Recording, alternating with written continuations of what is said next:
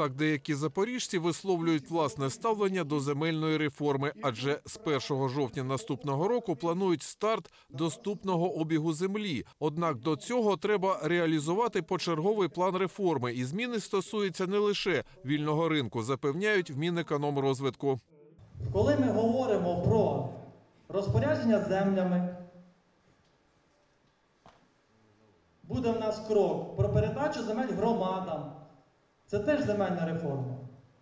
Буде у нас крок про повну дерегуляцію, про те, щоб кожен з вас і інші власники землі не витрачали тижні і тисячі гривень на оформлення елементарних документів, пов'язаних з їхньою власністю. Ці всі кроки є теж частиною земельної реформи. Послухати про земельну реформу прийшло чимало народу. Здебільшого це аграрії. Питань у них багато. Висловити думку кожен може у відкритий мікрофон. Все это вы красиво говорите, только как это все будет действительно работать?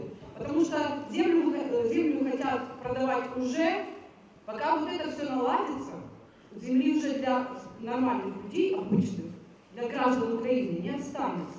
И мы это прекрасно понимаем. К сожалению, в реалиях сегодняшних ну, нельзя вот так вот быстро, наскоком открывать рынок земли. Ми ж всі знаємо, що якщо буде е, відкритий конкурс на вибачте, вже просто голосимо, е, на від- відкритий якийсь аукціон, буде те ж саме, що зараз були аукціони з орендою.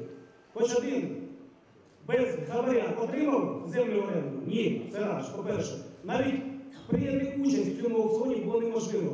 Тому е, інформація до того, хто скільки дав грошей, буде у тих людей, які сьогодні запроваджують ринок землі. Зустріч відбувається між першим і другим читаннями закону про земельну реформу, аби виробити компромісну позицію. Адже за словами знавців, з 10,5 мільйонів гектарів державної землі в Україні втрачено вже 60%. Люди вимагають, аби те, що залишилося, передали громаді. Якщо земля перебуває в комунальній власності громади, то через механізм оренди громада отримує набагато більший дохід, чим вона просто цю землю вивела з громади через особисте селянське, е, через цільове призначення ОСГ. Надані пропозиції щодо того, яка площа може бути в одних руках, бачення земельного банку, фінансових інструментів викупу та інші зберуть і нададуть у вигляді аналітичної довідки президенту України. Поки що остаточного бачення земельної реформи немає. Продовжувати мораторій на продаж землі теж не збираються. Артур Туркін, Дмитро Драгунов, телеканал ЗЕТ.